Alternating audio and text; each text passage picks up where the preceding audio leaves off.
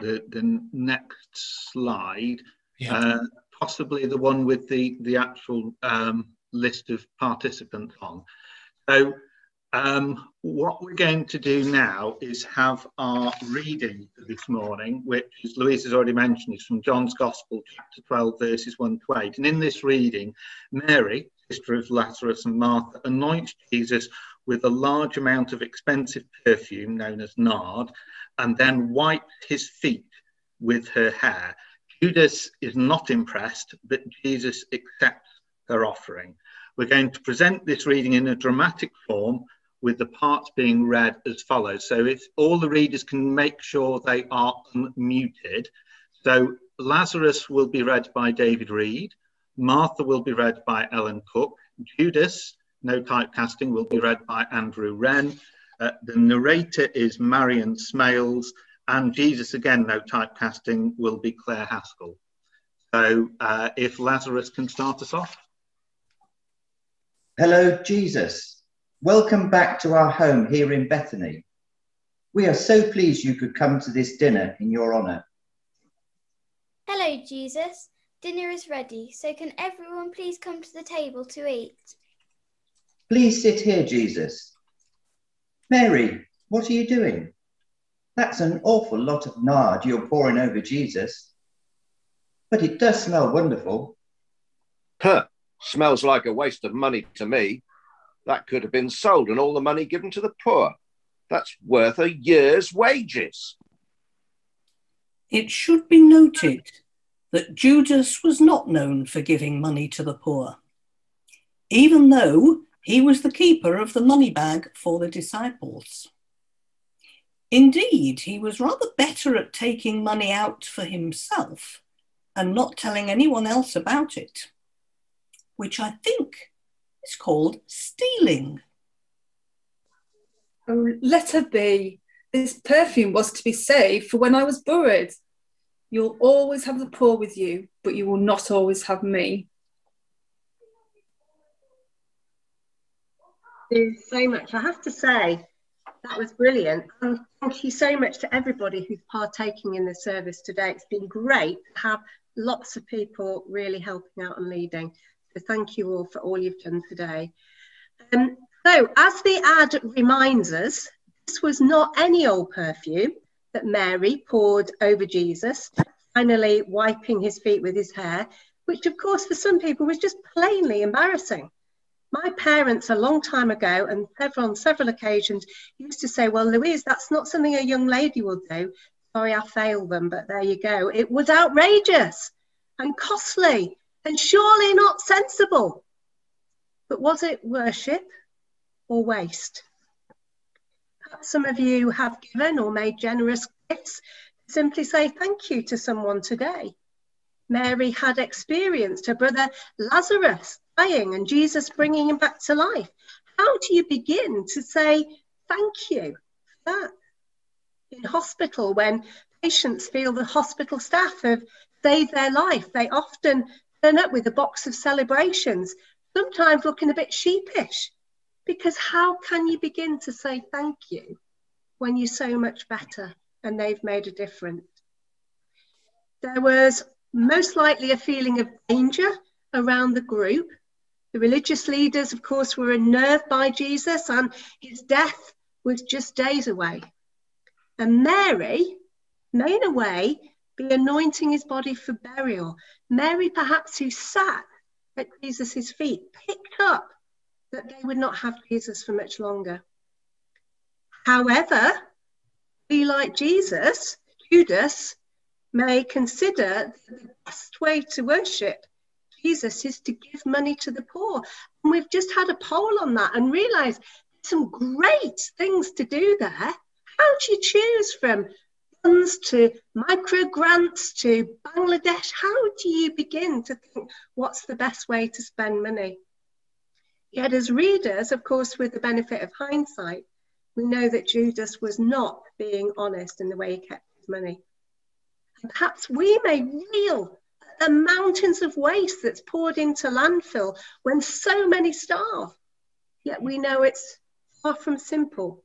And we have to ask ourselves how much we waste in the way we live our lives. Perhaps we can learn, and perhaps this should be our daily prayer, that there are times in our lives when we simply need to lay down our treasures and pour out our lives, our gifts in generation, generosity for the love of Jesus our Lord. So there's lots to ponder on. But this is a time when you're going to go into your groups to worship, through thinking more, or to be by yourself for 20 minutes. And I think, Andy, have we got the list just to put up again, just to remind everybody?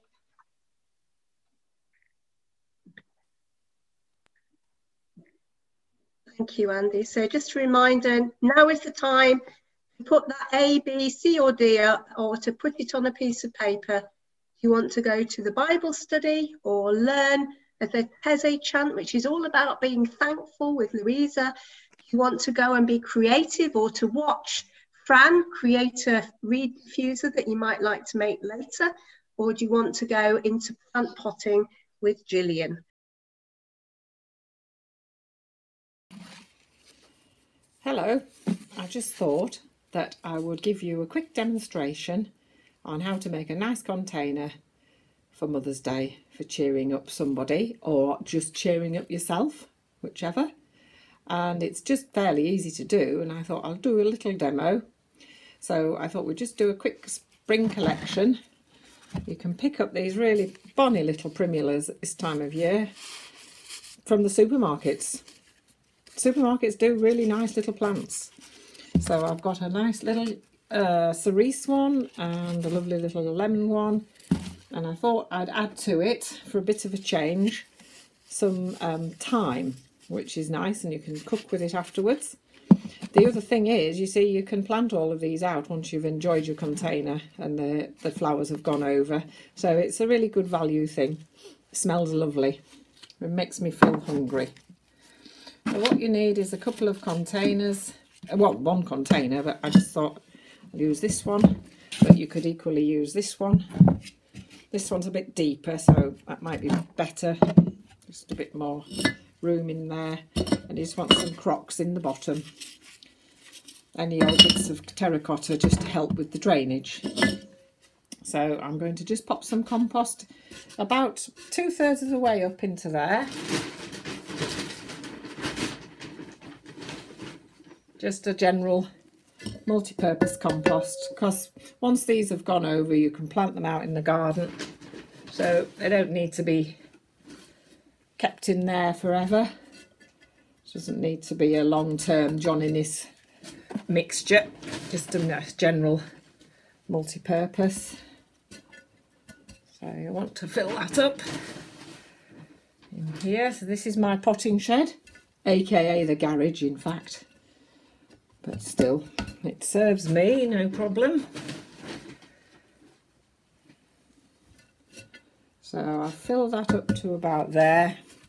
Once you've watered it it will settle. So just give it a push down and maybe another scoopful.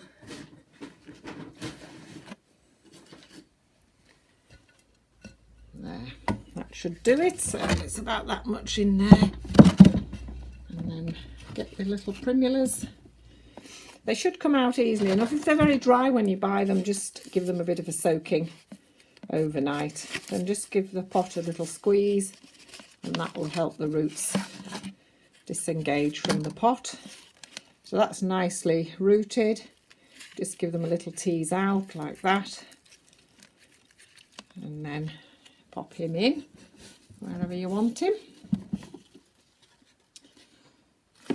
Pop this little one in, give him a squeeze. As I say, I just picked these up from the supermarket. That's such a pretty colour. The very fact you've got these lovely spring colours is very cheering in itself. And then I chose thyme, but you can easily get something like ivy.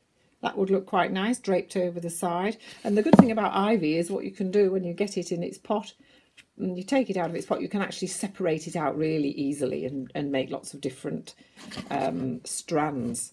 The other thing you can do with ivy is if you uh, just get some, that you pluck and cut from the hedge uh, in your garden, you can root that in the um, in a, in a vase of water and it'll root and then you've got ivy. And you could do the same with mint or anything like that.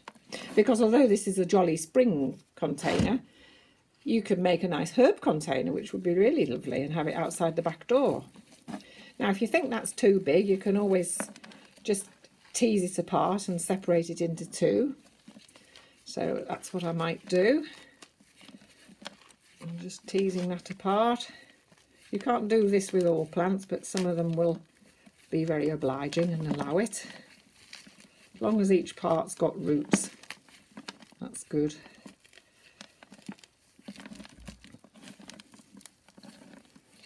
Smells lovely. We're just developing a lovely herb bed at church. So I'm expecting you to get lots of fresh herbs in with your roast chicken in the future.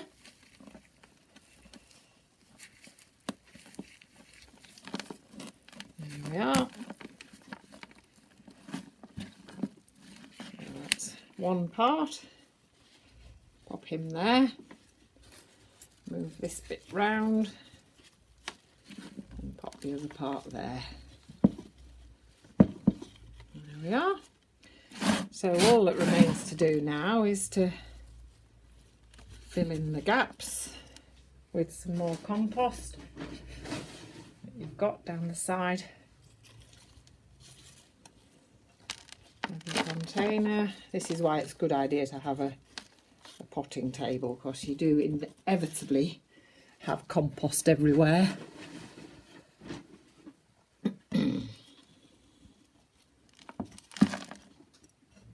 push it well down because like I say when you water it you will get some settling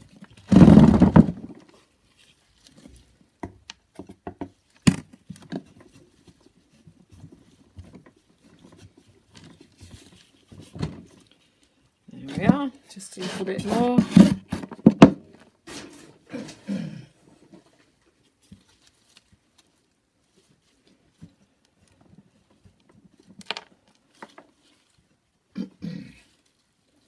hmm, good. So, got a nice spring container there.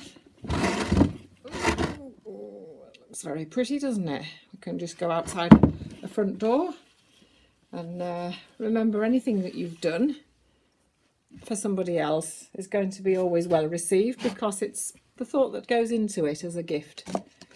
Now what you can do if you want to is top dress this with some grit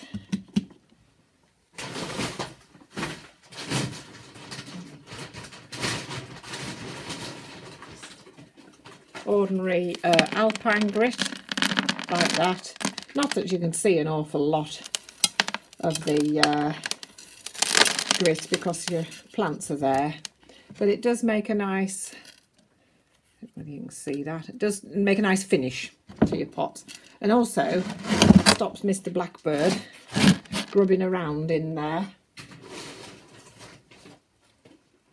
and digging things up as is their want at this time of year.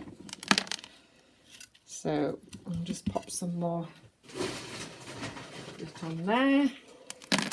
If you haven't got any grit, don't worry about it. Your plants are more capable of being happy without it.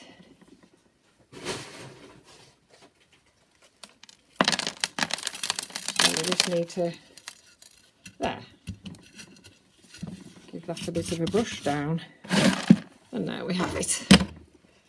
Nice little um, Mother's Day gift or treat yourself. Just give it a good water, pop it somewhere nice. Okay, thank you very much. Bye.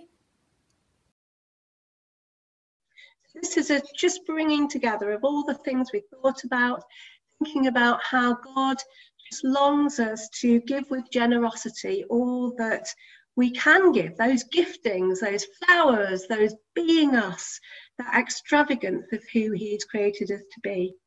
There's an old prayer by Cardinal Newman that reminds us that we're all a link in a chain and we can all make a difference, whatever age we are, with people we know and in the wider world. And we can be angels of peace and we can follow Jesus together and do his work as a community. So a paperclip, just take one paperclip if you've got one.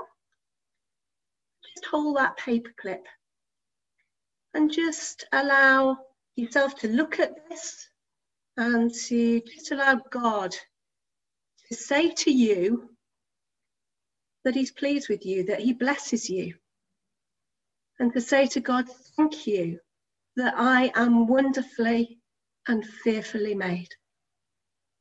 We give thanks, God, for the life that you breathe into us every day and allow us to follow you and be your agents of peace. And then take another paper clip and if you link those together,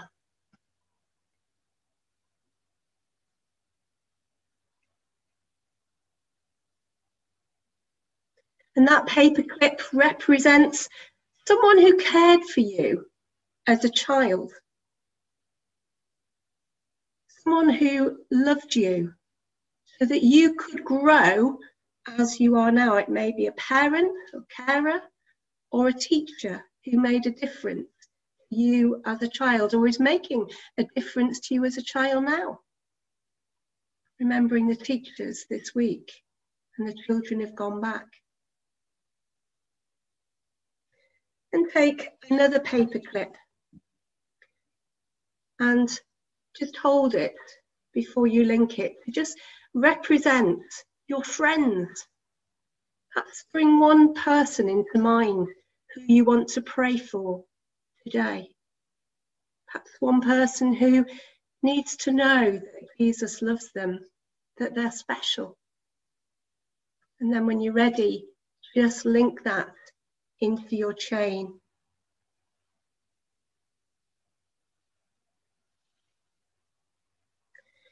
And take another paper clip and bring to God on this Mothering Sunday your mother church. That may be a church that you grew up in, it may be the church you worship in now. Perhaps somewhere a long way away that you've left but was a place that you grew in faith. And just bring to God that place, those people, that community, followers of Jesus. And when you're ready, think that to your chain.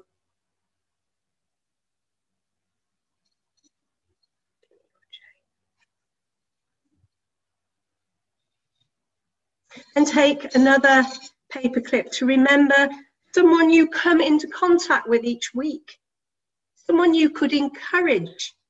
That may be at work or at school, or even a delivery van driver or a postman.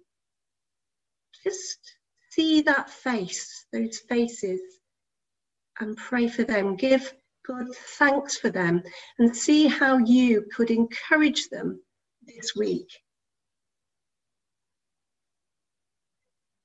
then simply take a final paper clip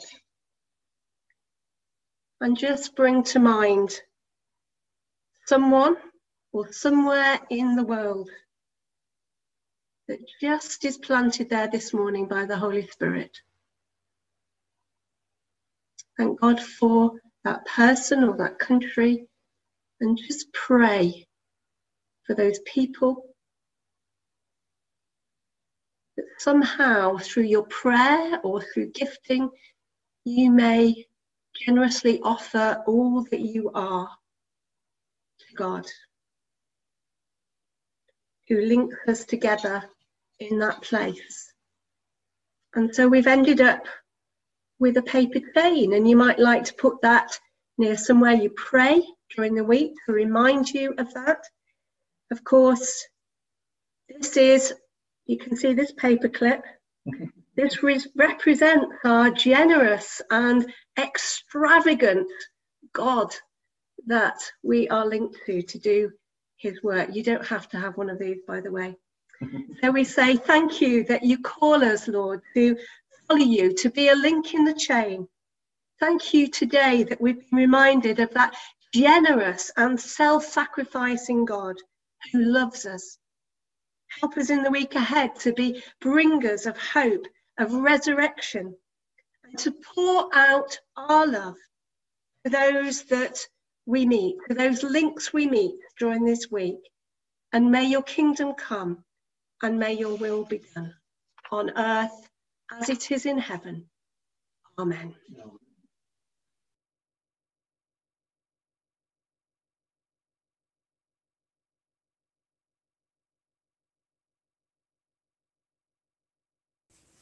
Thank